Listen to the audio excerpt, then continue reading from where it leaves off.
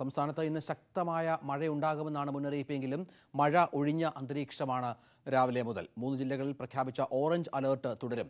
നേരത്തെയുള്ള അഞ്ച് ജില്ലകൾക്ക് പുറമെ മലപ്പുറത്തും ആലപ്പുഴയിലും യെല്ലോ അലേർട്ട് ഇതിനകം പ്രഖ്യാപിച്ചിട്ടുണ്ട്. ഇടുക്കിയിലും കോട്ടയത്തിന്റെ മലയോര മേഖലകളിലും പുലർച്ചെ വരെ ഭേദപ്പെട്ട മഴയുണ്ടായിരുന്നു.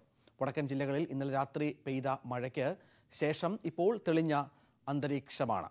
മഴ മാറി നിൽക്കുകയാണെങ്കിലും ഇടുക്കി ഡാമിലെ ജലനിരപ്പ് കുറയുന്നില്ല. എന്നുള്ളതാണ് പ്രധാന വിവരം.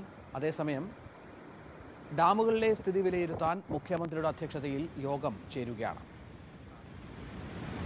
ഇടുക്കിയിൽ നിന്ന് എം എസ് സനീഷ് കുമാർ തിരുവനന്തപുരത്ത് നിന്ന് ഉമേഷ് ബാലകൃഷ്ണൻ എന്നിവർ ഏറ്റവും പുതിയ വിവരങ്ങൾ പങ്കുവെക്കും. ആദ്യം അനീഷിലേക്ക്. അനീഷ് ഇടുക്കിയിൽ മഴ കുറവുണ്ട്. വിഷ്ണുപ്രദേശങ്ങളടക്കം മഴ കുറവുണ്ട് എങ്കിലും ഡാമിലെ ജലനിരപ്പ് കുറയുന്ന സാഹചര്യമില്ല. സെക്കൻഡിൽ ഒരു ലക്ഷം ലിറ്റർ വെള്ളം അഴിച്ചുവിട്ടിട്ടും. എന്താണ് മറ്റു വിവരങ്ങൾ?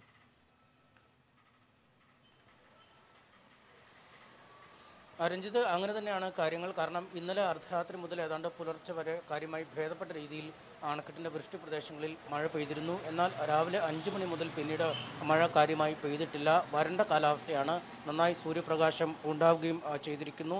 കഴിഞ്ഞ ഏതാനും ദിവസങ്ങളെ അപേക്ഷിച്ച് നോക്കിയാൽ ഏറ്റവും പ്രസന്നമായ ദിവസമാണ് ഇന്ന് എന്ന് വേണമെങ്കിൽ വിശേഷിപ്പിക്കാം. ഇടുക്കി അണക്കെട്ടിൽ നിന്ന് ഇപ്പോഴും ഒരു ലക്ഷം ലിറ്റർ വെള്ളമാണ് ഓരോ സെക്കൻഡിലും ഒഴുക്കി വിടുന്നത് മൂന്ന് ഷട്ടറുകളാണ് നിലവിൽ ഇപ്പോഴും തുറന്ന അവസ്ഥയിൽ തന്നെയുള്ളത്. പക്ഷേ അതുകൊണ്ടും അണക്കെട്ടിലെ ജലനിരപ്പിൽ കാര്യമായ മാറ്റം വരുന്നില്ല എന്നതാണ് ഏറ്റവും ശ്രദ്ധേയം. ഏതാണ്ട് ഇന്നലെ ഇതേ സമയത്ത് അണക്കെട്ടിലെ ജലനിരപ്പിൽ നേരിയൊരു കുറവ് വന്നിരുന്നു. അതിനുശേഷമാണ് മഴ പെയ്യാൻ തുടങ്ങിയത്. ഇപ്പോൾ രണ്ടായിരത്തി മുന്നൂറ്റി തൊണ്ണൂറ്റെട്ട് ദശാംശം ഒന്ന് എട്ട് അടിയാണ് അണക്കെട്ടിലെ ഇപ്പോഴത്തെ ജലനിരപ്പ്.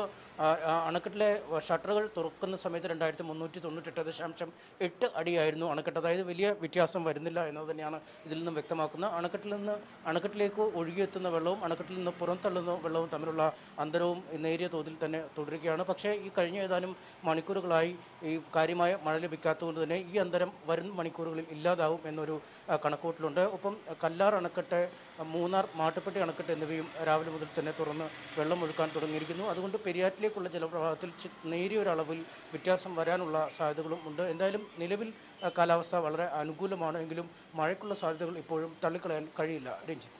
എം എസ് സനീഷ് കുമാർ വിവരങ്ങൾ നൽകി തിരുവനന്തപുരത്ത് ഉമേഷ് ബാലകൃഷ്ണമുണ്ട്. ഉമേഷ് കാലാവസ്ഥാ പ്രവചനം. മഴയുണ്ട് എന്ന് പറയുമ്പോഴും രാവിലെ മുതൽ മഴയുണ്ടാകും ചില ജില്ലകളിലെങ്കിലും എന്ന് പറഞ്ഞെങ്കിലും ഇന്ന് തെളിഞ്ഞ കാലാവസ്ഥയാണ് പൊതുവെ സംസ്ഥാനത്തുടനീളം. ഏതെങ്കിലും തരത്തിലുള്ള മാറ്റം ഇനി ഒരു മണിക്കാണല്ലോ പുതിയ കാലാവസ്ഥാ റിപ്പോർട്ട് വരിക.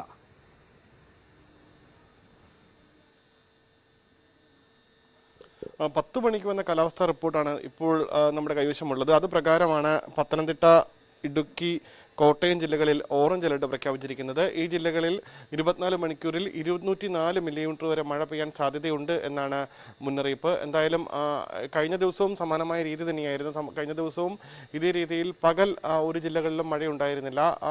ഉച്ചയ്ക്ക് ശേഷമായിരുന്നു മഴ ഉണ്ടായിരുന്നത് അതുപോലെ ഇന്നും സമാനമായ രീതിയിൽ ഉച്ചയ്ക്ക് ശേഷം മഴ ഉണ്ടാകാൻ സാധ്യതയുണ്ട് എന്ന് തന്നെയാണ് കാലാവസ്ഥാ വിദഗ്ധരെല്ലാം പറയുന്നത്. കൂടാതെ ഏഴ് ജില്ലകളിൽ യെല്ലോ അലർട്ടും പ്രഖ്യാപിച്ചിട്ടുണ്ട്. ഏഴ് ജില്ലകളിൽ ഒറ്റപ്പെട്ട ശക്തമായ മഴ ലഭിച്ചേക്കും. തിരുവനന്തപുരം കൊല്ലം ആലപ്പുഴ എറണാകുളം തൃശൂർ പാലക്കാട് മലപ്പുറം ജില്ലകളിലാണ് യെല്ലോ അലർട്ട് പ്രഖ്യാപിച്ചിരിക്കുന്നത്. ഈ ജില്ലകളിൽ നൂറ്റി പതിനഞ്ച് മില്ലിമീറ്റർ വരെ മഴ ഇരുപത്തിനാല് മണിക്കൂറിൽ ലഭിക്കാനാണ് സാധ്യത.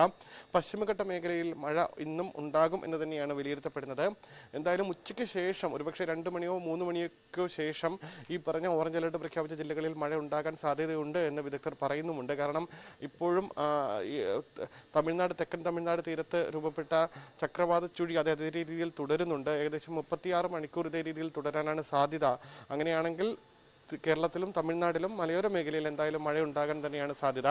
കഴിഞ്ഞ ദിവസം ഇതേ രീതിയിൽ വൈകിട്ട് അഞ്ചു മണിക്ക് ശേഷം ശക്തമായ മഴ മലയോര മേഖലയിൽ ലഭിച്ചിരുന്നു. അതുകൊണ്ട് തന്നെ ഈ പകൽ മഴയില്ല എങ്കിലും ജാഗ്രത കൈവിടേണ്ടതില്ല എന്നുള്ള നിർദ്ദേശം തന്നെയാണ് കാലാവസ്ഥാ വിദഗ്ധർ നൽകുന്നത്. അതേസമയം കെ വിവരങ്ങൾ